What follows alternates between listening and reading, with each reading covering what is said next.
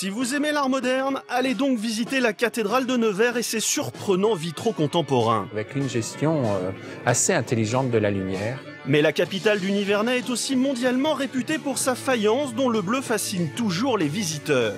Pour accompagner la visite, nous vous avons préparé un menu de fin gourmet, foie gras, magret, crottin de chavignol. Il va y avoir plein d'arômes qui vont remonter en arrière-bouche. Et ça, c'est vraiment la particularité du chavignol. Du poisson de rivière et du vin de Loire, comme le célèbre Pouilly fumé. On ne peut pas imaginer le vignoble de Pouilly sans, sans la Loire. Un petit tour sur une vieille gabarre traditionnelle? Voilà une façon bien sympathique de découvrir l'histoire de la marine de Loire. Le long de ce fleuve dit sauvage, on peut admirer le célèbre prieuré de la Charité-sur-Loire, maintes fois détruit et toujours aussi vivant. À chaque fois qu'il y a un incendie, on reprend les mêmes fondations et on remonte. Le Nivernais s'étend de la Loire jusqu'au massif du Morvan. C'est là qu'on trouve un des plus beaux canaux de plaisance en France, au monde diront certains, le canal du Nivernais. Alors ici, c'est très physique. Hein. Ainsi que de nombreux ouvrages d'art impressionnants. En route donc pour le Nivernais.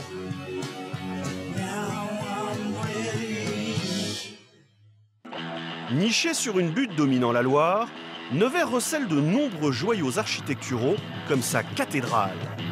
Luc, historien et spécialiste du patrimoine nivernais, tient d'abord à nous présenter l'ancienne demeure des ducs de Nevers, le palais ducal. Nous sommes au cœur du Nivernais, au cœur de ce qui faisait le pouvoir euh, de la Nièvre. Et pour découvrir ce lieu, c'est Agathe, véritable encyclopédie vivante, qui nous accompagne. Bonjour Agathe. Avec ses deux mordus de patrimoine, on entre rapidement dans le vif du sujet. Le palais ducal, c'est évidemment un monument historique. Tout à fait, qui euh, est un bâtiment, donc dans sa structure de la fin euh, de l'époque gothique, qui va recevoir une, une parure Renaissance. Par contre, la tour centrale a été un peu reprise au 19e. Cette tourelle centrale qui a été pendant très longtemps l'entrée principale de ce château, à l'époque des comtes et des ducs, mais euh, aussi au 19e, lorsque le bâtiment abrite le palais de justice, c'était l'accès principal. Une entrée latérale construite dans les années 80 lorsque l'ancien maire de Nevers, Pierre Bérégovoy, a décidé d'ouvrir le palais au Ah, public. Merci. Merci. On y organise désormais salons, conférences, séminaires. La mairie y célèbre aussi des cérémonies officielles.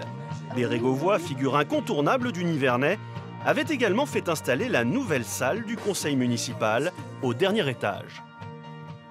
Maintenant, c'est l'endroit où se tient le conseil municipal. Voilà. Euh, Tout ça, Voilà, donc, euh, ça change un peu. Oui, bah, ça, fait, ça fait une belle salle.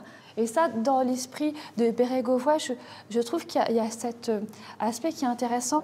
On a un, un lieu qui est approprié euh, par les habitants et qui est représentatif de la municipalité. Une belle salle en effet, mais ce n'est pas tout. Et puis, on a quand même une très belle vue. T'as jamais, jamais osé, osé, ouvrir non, la non, fenêtre non, non. Regarde. Ah oui Oui, oui, extraordinaire. Une Ah, vue oui. très belle sur la place et sur la, et sur la Loire. Ça, c'est tout le charme de Nevers. Luc découvre également l'intérieur de l'escalier central qui débouche face à la Loire, ce fleuve qui compte tant pour les Nivernais. Les habitants sont très très attachés au fleuve. Le fleuve, il a, il a ce côté, alors certains vont dire émollient, mais euh, un, un côté très calme, très apaisant, qui fait que, voilà, le voir, c'est aussi changer son rythme de vie. Oui, C'est oui, oui, tout à se fait. caler sur le rythme il, y a du des, fleuve. il y a des habitants qui, euh, qui vont voir le fleuve tous les jours. hein. Ouais, ouais. Et à deux pas de là, la cathédrale Saint-Cyr et Sainte-Julite, imposant monument qui revient de loin. Fortement endommagée lors des bombardements de 1944, elle a été reconstruite entre 1946 et 1966. Un des attraits les plus surprenants de cette cathédrale, ses vitraux signés par des artistes contemporains. Alors c'est vrai que la, la cathédrale a plusieurs particularités, surtout bah, ses vitraux contemporains, avec à la fois un ensemble en taille de plus de 1000 mètres carrés de vitraux. 1500 mètres carrés. Je me souviens du nom du, 1030. je, je me souviens du titre, l'affaire des 1502. C'est vraiment la plus grande des commandes publiques en matière de vitraux en France. Et, et il faut dire, euh, dont les, les habitants ont mis un peu de temps à se familiariser. Mais on sent que ça y est. Effectivement, l'ensemble très hétérogène peut dérouter. Les artistes impliqués ont chacun un style unique et très personnel. Honegger, Alberola ou encore Viala, dont les œuvres éclairent la nef gothique. Oui, Viala, lui, il se reconnaît, avec une gestion euh, assez intelligente de la lumière et des réponses de B à B. Et euh, Viala disait au moment de l'inauguration qu'il n'avait pas souhaité revenir dans la cathédrale après avoir posé ses vitraux. Il attendait que tous les vitraux soient mis. Qu'il ait, le, qu'il ait le, le total, Voilà, l'ensemble, le total la vision d'ensemble. Comment les, les couleurs de ces vitraux, les reflets de ces vitraux se mélangeaient avec les, Hmm. avec les autres. Après 30 ans de chantier, les derniers vitraux ont été inaugurés en 2009. Si vous passez à Nevers, ce serait dommage de ne pas aller admirer ces œuvres d'art. Autre chef-d'œuvre de la main de l'homme, le canal du Nivernais et ses 116 écluses. Ce matin, nous avons rendez-vous avec Evelyne à l'écluse numéro 24.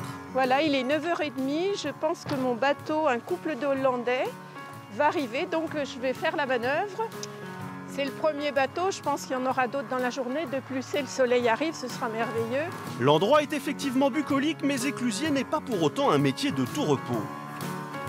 Alors ici, c'est très physique. hein. Tout est manuel. Mais c'est ça aussi le charme du canal du Nivernais. Un charme qu'Evelyne a contribué à créer et à entretenir, et ce depuis longtemps. Pour tout dire, euh, cela fait maintenant 39 ans que je fais ces manœuvres tous les jours. Le canal du Nivernais et moi, euh, ça commençait d'un coup de foudre, une histoire d'amour qui dure toujours aujourd'hui. Ça compte beaucoup dans une vie où on part le matin avec vraiment l'envie de, de travailler, l'envie de, de s'éclater au travail. C'est tellement rare. Ce qui motive Evelyne, c'est aussi l'aspect humain, ses rencontres avec des plaisanciers qui viennent de partout. Mais hier soir, j'avais téléphoné pour qu'ils envoient le soleil. Ah ben c'est gentil, j'ai pensé à tout. Hein. Le canal du Nivernais est peu fréquenté par les Nivernais. On croise surtout des étrangers comme Maria et John, qui sont hollandais. Première manœuvre du matin, avec les doigts qui sont froids. Mais bon, c'est pas grave. Hein. Comme le veut la tradition, Maria aide Evelyne à la manœuvre. Evelyne adore partager son expérience des canaux avec les plaisanciers. Chaque année, il passe environ 1000 bateaux par cette écluse. Le bateau entre dans l'écluse. Alors évidemment, on peut mettre plusieurs bateaux dans l'écluse. Des bateaux de ce style, on en met deux.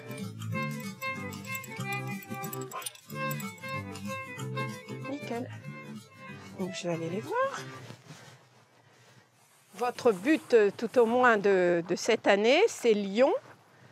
Et retour, Le retour, c'est. euh, Peut-être le Doubs. vous n'allez pas descendre le Rhône, ce serpent.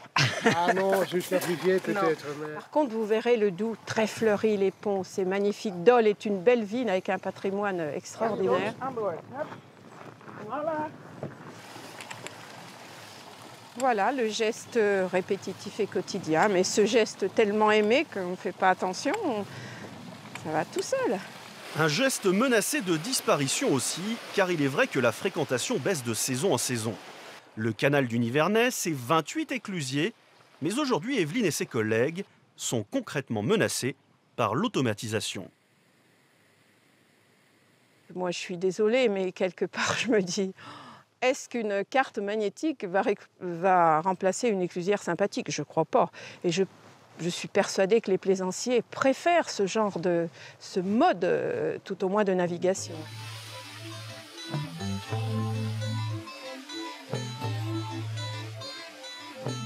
Ce sont ces plaisanciers qui sont les seuls utilisateurs du canal aujourd'hui. À l'origine, il fut construit pour des raisons commerciales. Il fallait entre autres transporter le bois de chauffage du Morvan à Paris au milieu du 19e siècle. Et avant la construction du canal, les hommes naviguaient sur la Loire dans des conditions difficiles et parfois périlleuses. C'est ce glorieux passé de la marine de Loire qu'Yvan nous fait découvrir à bord de son bateau traditionnel baptisé Limonade. Bienvenue dans le monde ligérien qui désigne tout ce qui est relatif à la Loire. Faut pas monter devant ma puce. Hein. Elle a quel âge? Deux ans et demi, non? Trois ans.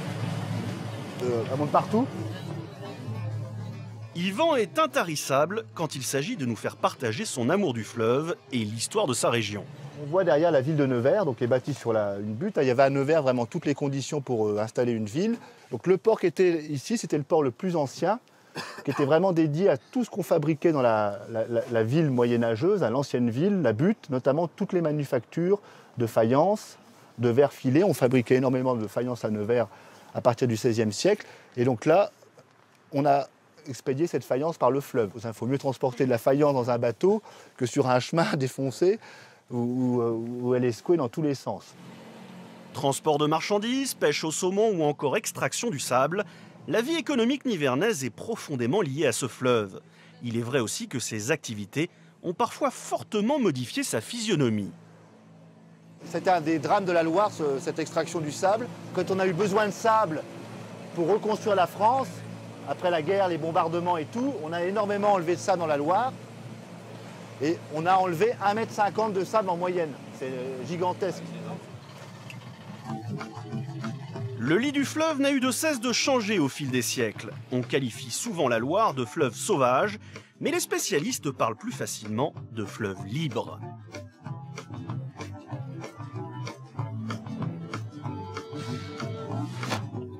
Un moment le monde fluvial pour le plancher des vaches, ou plutôt des oies et des canards. Nous sommes toujours dans le Nivernais, mais on pourrait parfois se croire dans le sud-ouest, surtout lorsqu'on visite la ferme de Fred à Donzy. Ah, on arrive à l'heure du repas. Bon appétit, mesdames.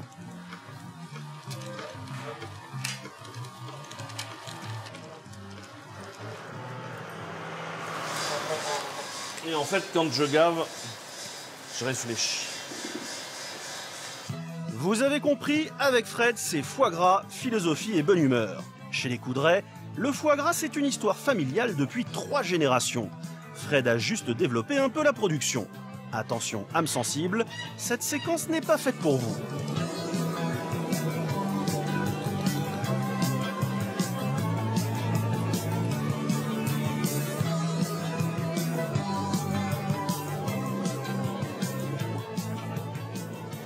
Je me rends pas compte des années. Mais alors, si c'est depuis 76 que ma grand-mère a fait ses premières oies, ça fait 37 ans. Et donc, bah, moi, ça fait presque plus de 20 ans que je, fais ça. Je m'en rends pas compte. Mais on, a toujours fait de cette façon-là, c'est-à-dire qu'on élève, on gave et on transforme nos animaux. On les emmène jusqu'au bocal, jusqu'au client. Ici, les bêtes sont élevées en liberté et gavées au maïs. Elles sont aussi accompagnées par l'humour du producteur jusqu'au bout. Bah, je sais pour vous, mais moi, je vois rien.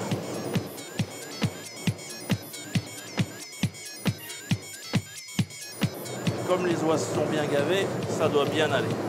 Quand le gavage va, tout va. Puis ce qui est bien, quand on plume des oies, c'est que quand on repasse au canard, c'est bien plus facile.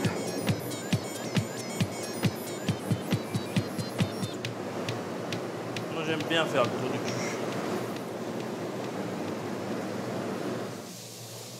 Plumer les oies, c'est vraiment physique. Heureusement que ce n'est pas tous les jours. C'est deux fois par semaine. Par contre, enfin, cette semaine, ça sera trois parce qu'il y a des canards aussi. Mais souvent, c'est quand même deux fois par semaine. Il n'y a pas de jour précis. C'est les animaux qui, qui décident quand ils sont bons à abattre. C'est pas nous. Après le plumage, il est indispensable pour Fred d'aller voir sa production. C'est le contrôle qualité façon Fred. Et ça paye. Ses productions ont gagné 29 médailles depuis 1995.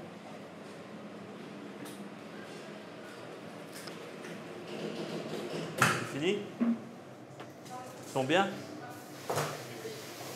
Bon. Ils sont tous là? Ah oui, il y en a qui sont pas ouverts encore, donc il y a encore un plateau. Mais un kilo, on va faire des mi-cuits en 320. Et puis ceux-là, on fera des conserves en 320. Les plus petits sont pas si jolis, on les mettra peut-être en pâté. On verra. Bon, je te laisse euh, finir. Et nous, on va aller à l'huile. On va changer de gras. Comme si faire 40 000 bocaux par an de terrine, magret, confit, rillettes et foie gras ne suffisait pas, Fred s'est effectivement lancé dans la production d'huile de noix et de noisettes. Le moulin du village menaçant de fermer, Fred a voulu sauver cette installation centenaire en prenant soin de conserver le mode de production. Pour l'huile de noix, les cerneaux sont d'abord jetés sous l'imposante meule de pierre. La pâte ainsi produite sera cuite avant d'en extraire la précieuse substance, une pression d'une pureté exceptionnelle.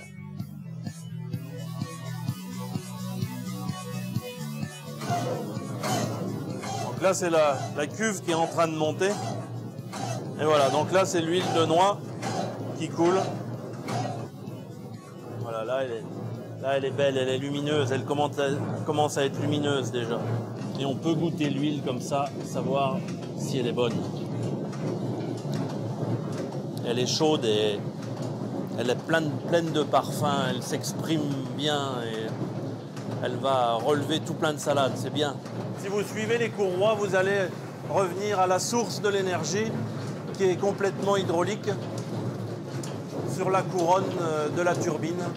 Et là-dessous, eh il y a l'eau de la rivière. On peut aller voir la rivière si vous voulez. Et donc l'énergie, elle vient de la rivière. L'eau euh, rentre dans la chambre d'eau, elle passe dans la turbine. Et la sortie de la turbine est là, c'est plus bas. Toute l'énergie vient de, de cette différence de niveau. Grâce à Fred, la douce odeur d'huile de noix pourra se répandre encore longtemps dans le village de Donzy. Les méthodes de fabrication traditionnelles sont toujours à l'honneur dans la région. À Nevers, avec Luc, nous allons découvrir d'autres savoir-faire dans un domaine qui n'a rien de gastronomique. Nevers est connu pour deux choses.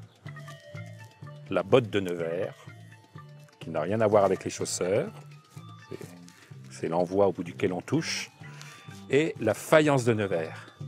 Nous rentrons dans la ville par l'imposante porte Ducroux et arrivons directement à l'atelier Montagnon, une faïencerie installée ici depuis quatre générations. Bonjour. Montagnon. Bonjour. Madame. Bonjour. Plaisir de vous accueillir. Bienvenue au bout du monde. Ah oui, le bout nom- du monde. C'est le nom de la fabrique. C'est le bout de la ville, c'est pour Depuis ça son origine, c'était euh, le quartier qui L'extrémité, l'extrémité ouest du bout de la, l'extrémité de la- de la dépend du- ville. Eh bien, je vous invite à faire un tour dans les ateliers, voir un Eh. petit peu comment est-ce que nous fabriquons aujourd'hui encore. Première étape, le moulage, qui exige un tour de main toujours très impressionnant. Oh, ça pour moi, ça c'est magique.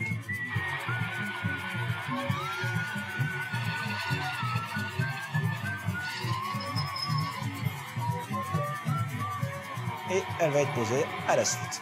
L'émaillage vient ensuite, une étape qui demande également beaucoup de pratique. Alors, juste un petit contrôle avant d'émailler la pièce pour s'assurer qu'il n'y a pas de fel, qu'il n'y a rien, c'est de la faire sonner, car la terre à ce stade est sonore. Écoutez. Et pour limiter les traces, on va utiliser une pince qui nous fera que trois petites traces au lieu de, de traces de doigts. La pièce est trempée dans le bain. Sortie, on va les goûter. Et là, vous faites quasiment à chaque fois un, un 360 degrés. Ah oui, Ouais. le plus Pour, euh, possible. ouais, ouais, ouais, ouais, ouais. Puisqu'en tournant la Ouais, pièce, ouais, c'est comme ça qu'on va euh, être sûr que l'émail Ouais, est ouais, bien, ouais. bien nappé. Et pour avoir surtout une épaisseur qui soit très régulière. Voilà. L'absorption est quasi maintenant. complète.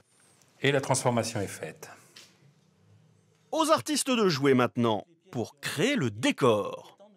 Alors c'est à ce moment-là que la faïence devient la faïence de Nevers. C'est ici effectivement que vont être euh, posées les, les couleurs sur un émail que l'on dit cru. Et c'est la main qui fait tout. Je suppose qu'il n'y a pas de repentir.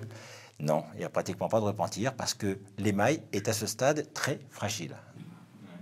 Cet émail peut être blanc, vert ou bleu, ce bleu qui a rendu la faïence de Nevers si célèbre. Moi, franchement, le bleu de Nevers, c'est une couleur que je trouve, moi, assez, assez fascinante. Elle est, d'un bleu sombre, quasi, quasi noir, et elle est, elle est à la fois patrimoniale, c'est-à-dire le, le bleu de Nevers est connu euh, au-delà, au-delà des frontières nivernaises, et en même temps, elle, est d'un, elle a un caractère moderne assez, assez, assez étonnant. Une faïence surprenante qui n'oublie pas ses racines. est étonnante. hein. Et puis, euh, je crois qu'aussi le patrimoine de Nevers a, a toujours sa place dans l'iconographie euh, la faïence. Bien sûr, le Palais Ducal, un des premiers châteaux de la Loire, comme on dit, puisque géographiquement, il fait partie euh, des premiers dans la descente. Et je suppose qu'au au dos, il y a forcément le nœud. Et voilà, au dos, on va trouver la marque de fabrique. Et puis surtout, le ruban, le ruban vert qui forme un nœud. Et on peut y lire ainsi un nœud vert. Il s'agit bien d'un nœud vert. Les spécificités régionales sont légion en Nivernais, surtout en gastronomie. Yvan, notre amoureux de la Loire, a demandé à Dominique, membre des toques nivernaises, de nous concocter pour l'occasion une recette typique. Tu vas bien On a travaillé sur du cendre. Ouais. Donc voilà, parce que si tu veux, bon, bah, la Nièvre, c'est vrai que c'est un pays euh, de, un pays de rivières et de, de montagnes. Donc euh, la rivière, le fleuve avec la Loire, donc euh, le cendre. Et puis la montagne avec le port, avec les escargots de la Bourgogne, comme on est dans la Bourgogne. Donc on a fait un cendre avec des pieds de porc et escargots. Tu bois quoi avec ça? Oh, bah, avec, avec- avec ça, on peut boire un, bah, un vin, un vin des voisins du Cher, donc un Sancerre, un Sancerre rouge, cépage Pinot. Et je me déshabille là parce que. Vous avez de la chance de travailler au chaud, vous. hein. On va enlever les filets du, du cendre. Mon père pêchait, j'ai man- euh, j'ai mangé beaucoup de cendre étant petit. Après, c'est remis, c'est c'est une recette qui est originale que je connais pas du tout, mais euh, qui normalement, je devrais pas être déboussolée en termes de saveur. Voilà, donc là, on a levé les deux filets du cendre. Moi, je garde la peau parce que si tu veux, quand tu cuis un poisson, j'ai bien, bien le grillé de côté peau. Ça évite de le sécher, le poisson. Tu vois. Après, sur un cendre, souvent, tu as les joues. Tu vois, par exemple, la joue, c'est cette partie-là. Donc ça, c'est fin et c'est très goûteux. C'est très, très moelleux comme chair. Le cendre, la perche ou le brochet sont des poissons typiques de la Loire. Mais aujourd'hui, les pêcheurs professionnels se font rares et l'occasion n'est pas si courante de déguster un mets aussi fin. La réalisation de la sauce qui l'accompagne, par exemple, est délicate.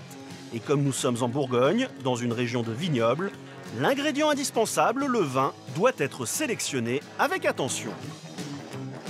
Alors bon, bah, pour, pour une cuisine, c'est vrai qu'un vin rouge, c'est mieux d'avoir un vin rouge qui a un peu de structure quand même euh, tannique, tu vois. Tu fais une fondue savoyarde, euh, si ton vin il est pas bon au départ, bah, ça, te fait, ça te donne un sale goût à la, à la fondue, quoi. Voilà, après on va mettre un peu d'escargot. Donc, tu vois, bon moi, moi ce que je trouve important, c'est de, c'est de toujours assaisonner, assaisonner avant de cuire. Parce que l'assaisonnement, il pénètre mieux et tu es obligé d'en mettre beaucoup moins. Écoutez bien les astuces du chef. Il est conseillé pour l'occasion par son ami Jean-François, le président des Toques Nivernaises, qui regroupe de nombreux chefs réputés de la région. Leur programme sélection de produits frais du terroir, savoir-faire, créativité et humilité. Et puis maintenant, bah, il ne nous reste plus qu'à déguster. Ouais, donc tu restes vraiment, là, tu, tu noies pas le poisson dans la sauce, quoi. Faut qu'on sente le. Bah, L'idéal, c'est quand même de sentir le poisson et de sentir aussi le, après, mélange ouais. escargot-pied de porc. Mais t'as as goûté le mélange escargot-pied de porc, là?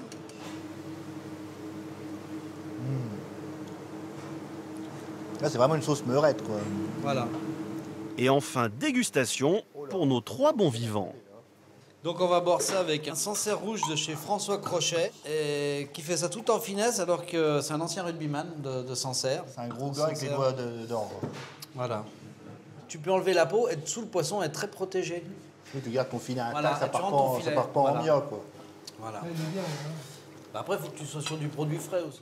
Bien manger, bien boire avec modération, c'est important. Le Nivernais n'est pas seulement riche en bons produits, c'est aussi un pays de nature. On l'appelle d'ailleurs parfois le vert pays des eaux vives. Evelyne, notre éclusière, nous emmène cette fois le long du canal, au barrage de Panso, à la guinguette de la Rustine.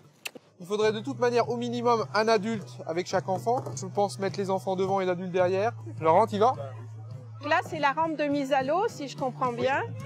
Au beau jour, Pascal propose des sorties en canoë sur le canal, le barrage et la rivière qui les alimentent, l'Aron. Animation, convivialité et bonne humeur garantie. Evelyne n'ayant pas voulu faire du canoë, nous reprenons la route. Direction Corbigny maintenant, où Evelyne a rendez-vous avec Ted Johnson, un ami de longue date. C'est un personnage, c'est une figure euh, du canal du Nivernais, puisqu'il est le seul, je dirais, à des centaines, voire euh, milliers de kilomètres, à avoir des pièces détachées euh, de tout genre, de tout, de tout modèle, de toute marque. Il va nous montrer son bric-à-brac, et puis voilà quoi. Ça y est, on est arrivé chez Ted.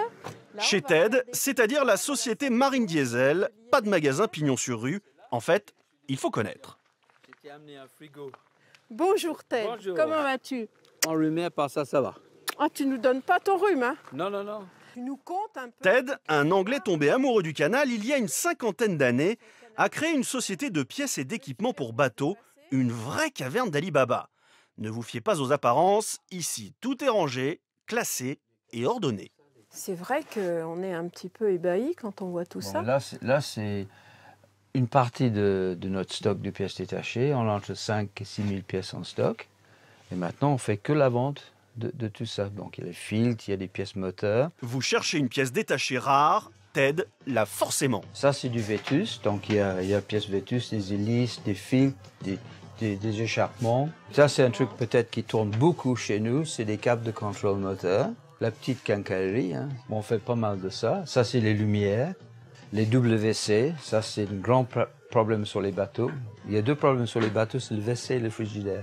Enfin, ça commence à aller mieux maintenant. Ça, on en vend des centaines de pièces tous les ans. Je me doute, je me doute. Et ça, c'est des pompes domestiques pour alimenter le- les douches, euh, l'évier et tout ça. Et John, mon fils, le fils, le- le fils et le, et le Ouais. patron en plus. Après avoir dépanné des milliers de plaisanciers, Ted vient effectivement de passer le flambeau à son fils, qui semble lui aussi très à l'aise dans ce capharnaüm qu'on continue de découvrir. Il y en a jusqu'au grenier. Là, là, il y a une fortune, là. Il y a des, il y a des, pour des millions là-dedans. T'es bien assuré? Oui, c'est pas, ouais. C'est pas trop mal rangé quand même. La majorité des ventes se fait par correspondance. En voyant John faire ses colis, difficile d'imaginer que Marine Diesel envoie plus de 5 tonnes de pièces par an partout dans le monde. De notre côté, nous allons découvrir un fromage internationalement réputé, originaire du Cher et qui s'est répandu jusque dans la zone de Donzy. Le crottin de Chavignol, c'est un, fromage AOP, d'appellation d'origine protégée. Donc c'est, le nec plus ultra dans le, froche- dans le fromage français. On y est arrivé. Maintenant, faut le trouver. Il peut être aux chèvres ou au fromage. Ou chez lui. Allons-y. Pour découvrir ce fromage de chèvre, il faut rencontrer Jean-François. Fred veut nous présenter cet ami qu'il a connu en faisant les marchés.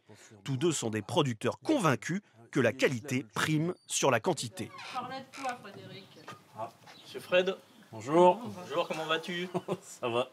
La visite commence par la nurserie. Ces petites bêtes sont tellement attendrissantes. Parti. Oh bah mes biquettes. Oh que c'est mignon. Bah elles sont contentes de me voir. Hein. Non, toi c'est pareil Elles te reconnaissent toi Oui, elles reconnaissent, surtout qu'on leur met à manger, tu sais, c'est... Oui d'accord. Hein Et puis elles sont calmes. Mais pourquoi elles seraient... Pourquoi elles devraient être apeurées? Ici, les animaux sont pas stressés, tu sais. euh. L'air est bon, le bâtiment est bien aéré, elles ont de la paille, elles ont à manger. euh. Elles se plaignent pas. Voilà. Comme Fred, Jean-François est un enfant du pays. Mais avant de faire du crottin de Chavignol, notre chevrier a eu une première vie. 7 ans à la SNCF à Paris. Jusqu'à ce que le mal du pays soit trop fort. Pourquoi t'es venu là? Eh ben, écoute, euh, je revenais ici tous les week-ends, malgré tout, parce que j'étais chasseur à l'époque. Et le dimanche midi, je commençais à avoir mal au ventre, à savoir qu'il fallait que je reparte sur Paris, avec les embouteillages et tout ça. Alors, euh, bon, j'ai dit, euh, allez, je me lance. Et donc, je suis parti faire ce, ce congé individuel de formation. Entre cette formation et les premiers crottins, Jean-François aura dû attendre 15 ans pour réaliser son rêve. Un long chemin à parcourir. Partir de rien, ici, monter un élevage de chèvres, dans la zone de Donzy, non. la crédibilité au niveau des banques à l'époque, eh ben, il fallait quand même s'accrocher parce que. T'es passé pour un rigolo, Et- comme, et- euh, comme mes parents étaient passés pour des, pour des rigolos Voilà, quand ils ont voulu faire du aussi, foie euh, aussi. Et, et puis, il fallait quand même avoir euh, bah, du caractère et puis prouver quand même aux gens euh, que c'était crédible hein, cette affaire parce que c'était vraiment très difficile ça. En fait, on, on discute tout ça, mais je, je le voyais sur le marché, mais sans savoir euh, réellement ce qu'il ce avait fait avant. euh. En fait, tu as été installé bien avant moi, mais, Oui, oui. mais j'ai fait de la vente directe avant toi. mais, voilà. On a la chance de, de transformer notre produit et de le vendre. C'est c'est quand même quelque chose. Et s'il est bon, ben, on arrive à bien le vendre.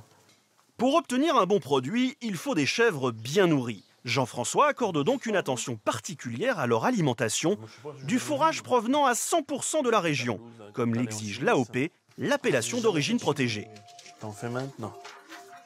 Donc tu vois, le matin, quand j'arrive en salle de traite, en fromagerie, pardon, je sais si, si tout va bien. Tu sais combien il y en a? Je sais si tout va bien. Par rapport, euh, voilà, ça sent bon, ça sent le lait, c'est frais.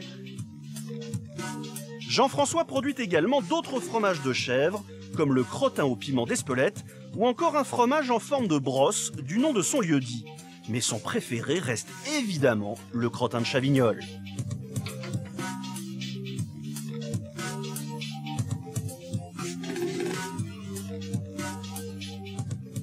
Et quand tu vas finir de le manger, tu vas avoir plein d'arômes qui vont remonter en arrière-bouche. Ça donne envie d'en remanger un autre morceau.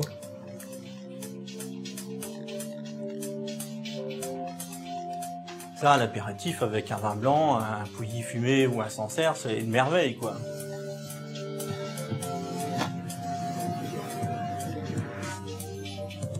Ah, le fameux pouilly fumé.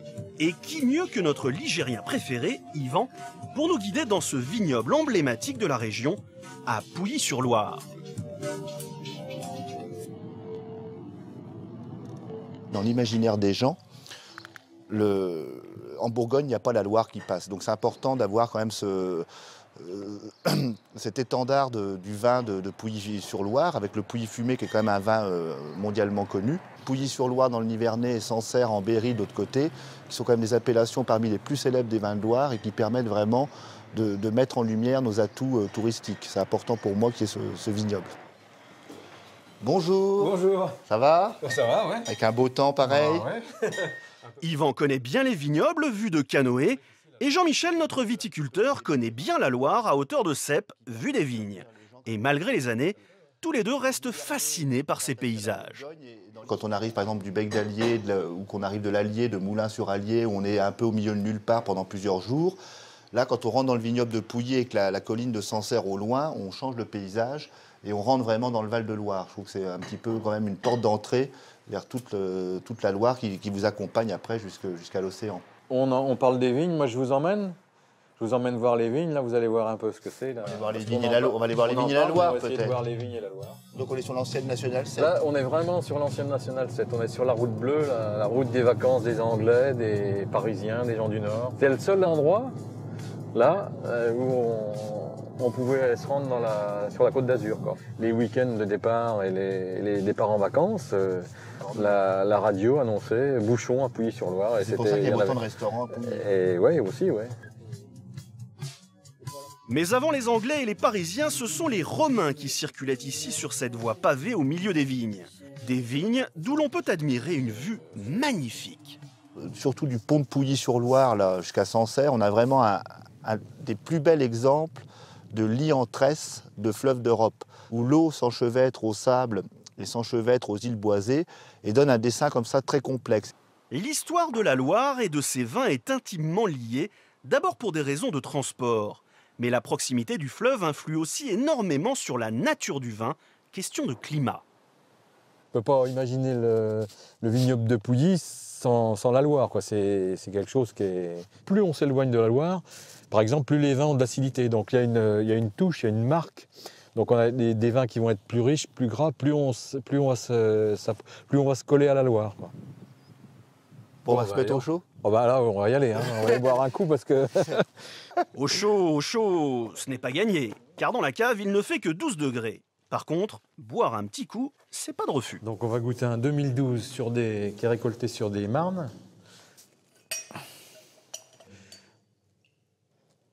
Non, mais il boit pas le caméraman. Ah bon? Bah non, c'est son métier, il peut pas. Ce c'est pas des vins qu'on a intérêt à garder, quand même, les, les pouilliers fumés comme ça, non? Je veux dire, en Euh, cave, un particulier en cave, il n'a pas intérêt. à- Oh, euh, on a beaucoup de nos clients qui les, qui les boivent dans les 4-5 ans. hein. On va en goûter plusieurs autres, on va pas en goûter qu'un, parce que ça serait inconvenant. Jean-Michel produit 4 cuvées de pouilly fumé. Il produit également du Pouilly-sur-Loire et du Sancerre, le tout sur 20 hectares de vignes.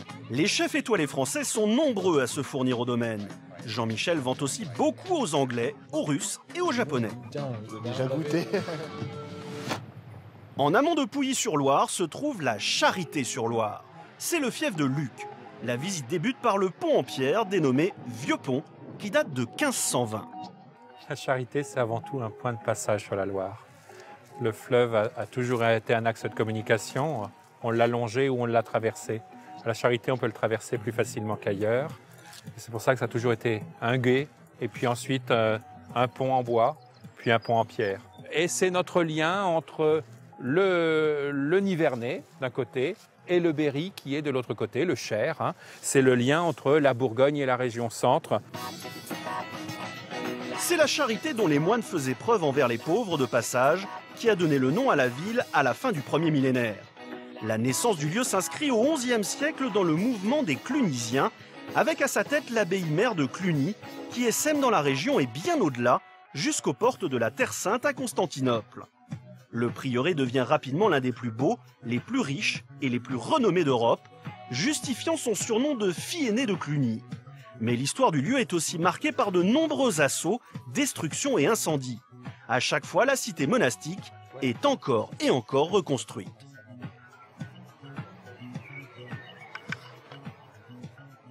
À chaque fois qu'il y a un incendie, on reprend les mêmes fondations et on remonte. Ce qui fait qu'on a un prieuré où les, des fois on a les fenêtres romanes qui sont en partie haute, le décor gothique en dessous et des décors 18e qui est clolé dessus. C'est un monument assez, assez hérissant, qui a une vie organique. Oui, j'aime à dire que voilà, il pousse. Il repousse tout le temps sur lui-même.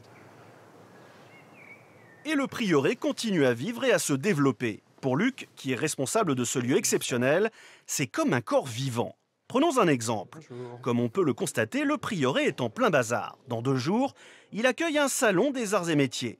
S'il faut adapter les bâtiments aux nouveaux besoins, électricité, éclairage, ouverture, on le fait dans un style moderne et sans nuire aux vestiges du passé. Cette démarche est peu commune pour un lieu historique, mais en fait, on la connaît tous. La salle capitulaire. Quand vous arrivez dans un appartement, vous changez le papier peint et ça ne change pas la nature de l'appartement. Et pourtant, c'est la première chose qu'une personne fait quand elle arrive dans un nouvel endroit. Elle change le décor. Pour Luc, et dans le cas du prieuré de la Charité, il ne faut pas s'acharner sur une soi-disant reconstitution historique qui risquerait de transformer le lieu en musée. L'idée, c'est que le monument, eh bien, on ne fasse pas comme partout ailleurs, un monument qui est posé sur son piédestal et on met un panneau à côté, on dit regardez comme je suis beau, voilà mon histoire. Eh bien, là, on dit regardez comme je suis beau, on ne met pas le petit panneau à côté et surtout, on continue l'histoire. À quelques kilomètres de la Charité, un autre lieu mérite le détour, le château médiéval de Passy-des-Tours. Clément est le président d'une association qui veut faire sortir de l'ombre cette fortification, certes en ruine, mais qui reste imposante. Enfant, Clément a passé beaucoup de temps sur ce terrain d'aventure.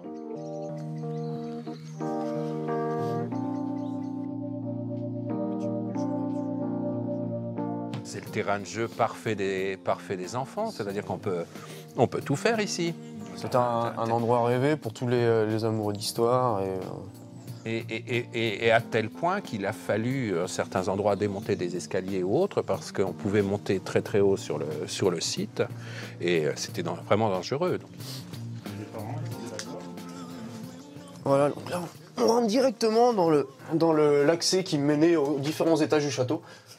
Donc ça, c'est des marches qui ont été euh, cassées volontairement euh, au siècle dernier pour éviter tout accident. euh, parce que bon, c'est assez dangereux. Un autre aspect de l'e- de- du donjon qui est intéressant, c'est le- l'espace des meurtrières. Plus vous vous, vous éloignez du sol et plus elles sont larges. Ah, ça c'est extraordinaire. Ça, oui. c'est intéressant, Oui, ouais. c'est- assez impressionnant. On va s'approcher euh, du, corps de, du corps de logis.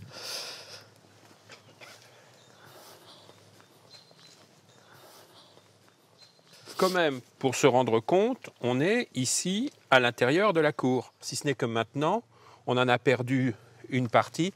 Mais je- en toute honnêteté, euh, moi je suis très optimiste. C'est-à-dire que tout est encore là. Bien sûr, mais il- sous la il végétation. suffit de faire, hein. euh, faire quelques fouilles est- archéologiques est- pour retrouver les encore de- assises. tout est encore dessous, hein, en tout cas les, les fondations. Un jour peut-être, toutes les fondations du château seront mises au jour et le site sera enfin rendu accessible au public. À Donzy, plus de château, mais il reste le relais de diligence. Ce restaurant est une des meilleures adresses de la région et c'est évidemment Fred qui nous y emmène. On va aller chez Marc Mercier dans sa cuisine au restaurant du Grand Monarque, une euh, vieille maison euh, donziaise bien réputée euh, à laquelle on tient aussi. Et on va aller le voir tout de suite parce qu'il doit être en pleine préparation.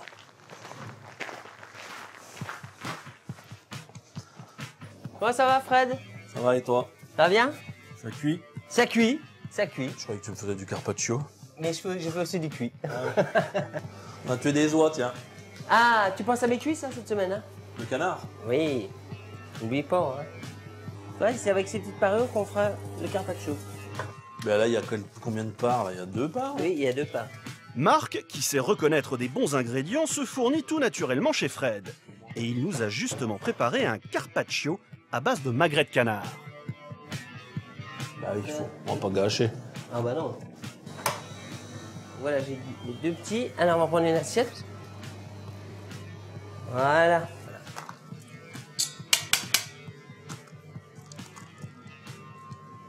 T'as pas pensé à faire le carpaccio de lentilles Carpaccio de C'est c'est un lentilles. peu ferme sous la dent. ouais. Et les lentilles farcies, t'en fais Euh, c'est vraiment quand j'ai le temps alors. Hein. Marc a l'habitude des blagues de Fred. Ils se connaissent depuis l'école primaire. Alors maintenant que j'ai badigeonné au jus d'orange, je vais mettre un petit peu d'huile de noisette dessus. Voilà, et j'en mets aussi un petit peu sur tes magrets. Regarde, ça, ça- ça les fait briller. Marc peut même tester la nouvelle production de Fred, l'huile de noix. Des petits triangles de pain d'épices. On dirait un bateau. On dirait une barque. C'est génial. Bon bah alors, tant mieux que ça te fait. Parce que moi, comme ton produit me plaît, avec des, avec des canards et des oies euh, gavés au maïs. euh, Non, bah ça fait plaisir. Et là, on va rajouter un petit peu de tartare À bâbord. à bâbord et à tribord. et là, je vais rajouter juste quelques petites baies roses. La fleur de sel. Avant de reprendre le Grand Monarque, Marc a été le cuisinier du grand Michel Platini pendant des années. Et là, on va peut-être faire juste quelques petits points.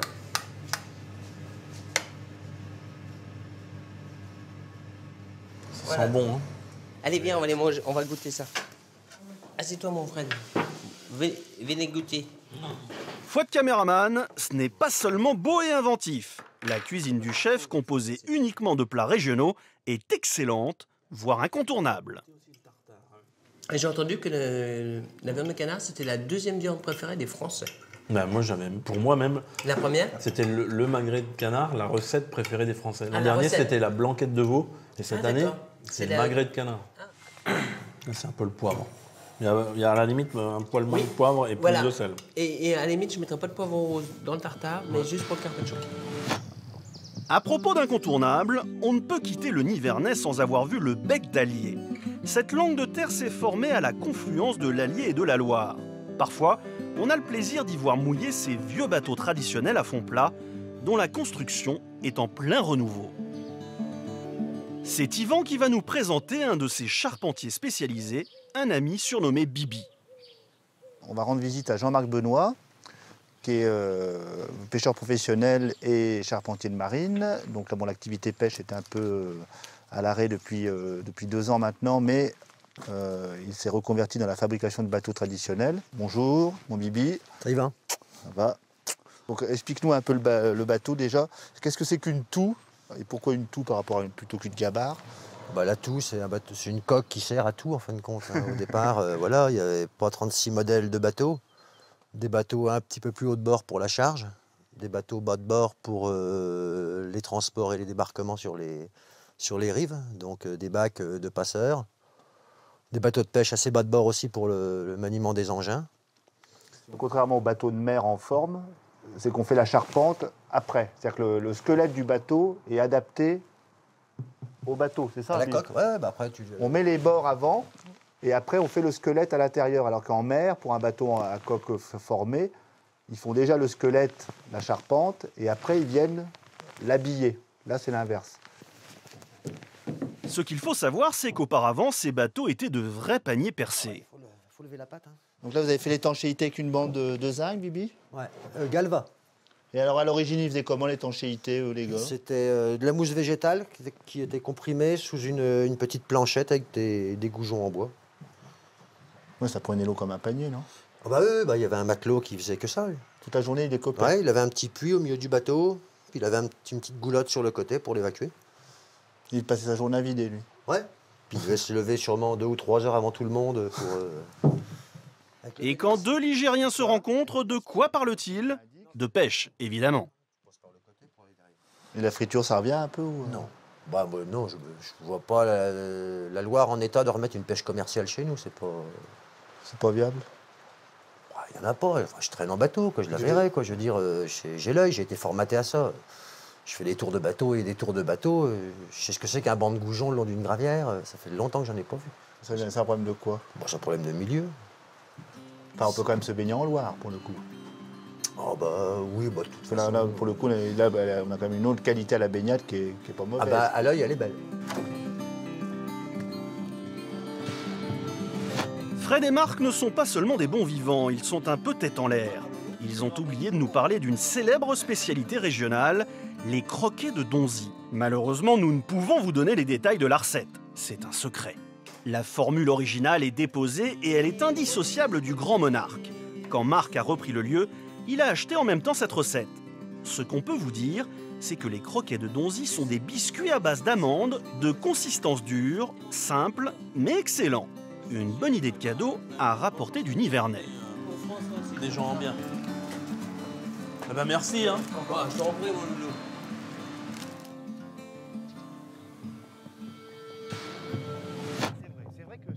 Avant que nous partions, Evelyne nous a préparé une surprise de taille.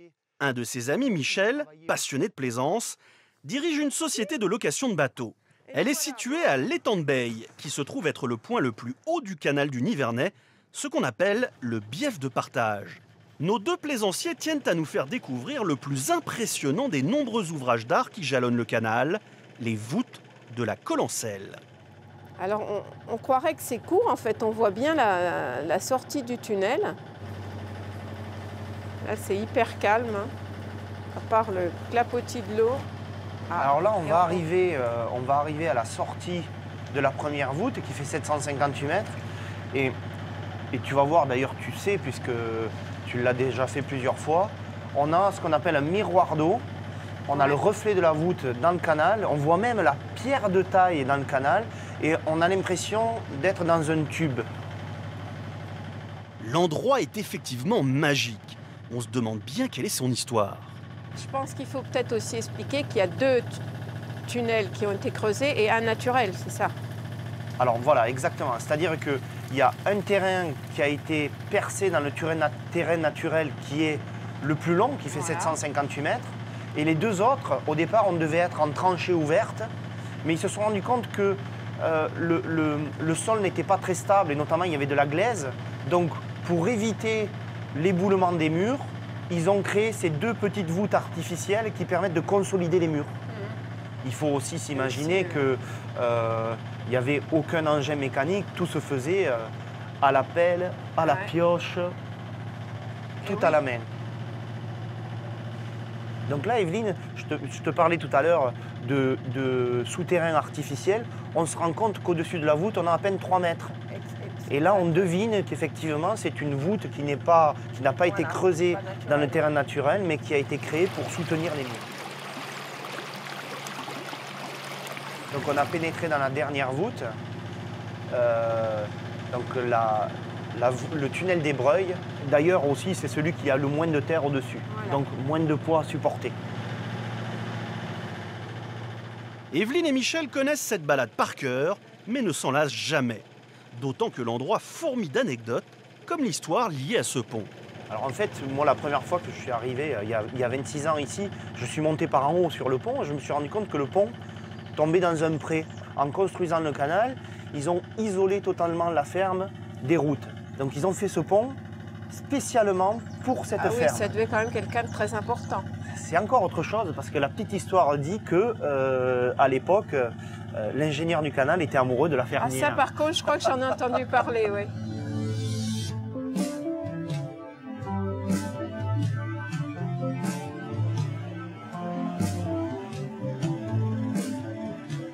Ces trois voûtes sont comme une profonde entaille dans la montagne de la Collencelle. Il faut aussi savoir qu'une centaine de forçats a trouvé la mort lors des titanesques travaux de construction. Il n'empêche, la perfection de l'ensemble et la majesté du site sont à couper le souffle. Si vous avez envie de rencontrer un guide ligérien intarissable, un passionné de patrimoine vivant, un drôle d'animal bon vivant ou une amoureuse de la plaisance, si vous aimez les surprises, l'art, les châteaux mystérieux, le sport en pleine nature, le clapotis de l'eau, maintenant vous savez où aller